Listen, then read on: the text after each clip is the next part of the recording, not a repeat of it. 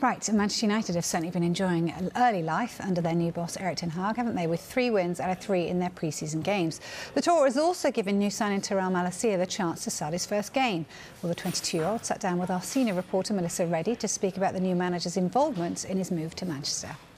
I spoke with him a lot, uh, two, three times, and uh, we had some good conversations uh, about football, about myself, and about him, and how he he sees me, and that was also a big uh, important thing for me to to join the club.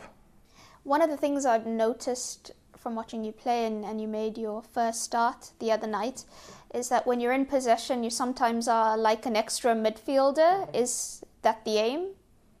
Yeah, that's that's what that was the coach wanted for me, and uh, at my former club and the former coach I play the same style, so uh, for me it's easier to get in this in this system.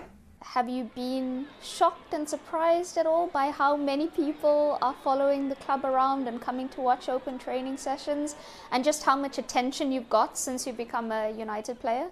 Yeah, I'm really uh, down to it and to myself, so I'm not really getting like, oh, okay, okay, but yeah, I see. I see. It's a big, big club, and and uh, you see everyone around the world knows the club and is here. But uh, yeah, I like it. Yeah.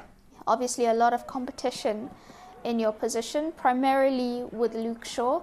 What is it you have to do to ensure you become United starting left back?